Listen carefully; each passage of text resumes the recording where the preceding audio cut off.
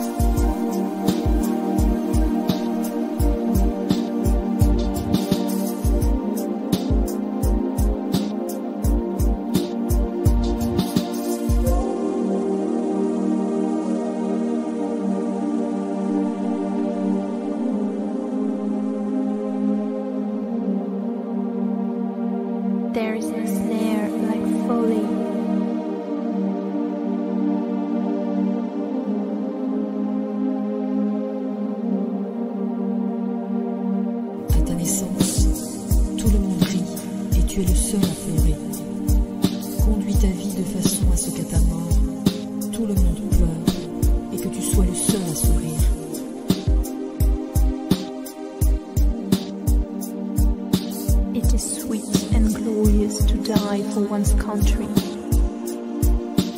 Il est doux et glorieux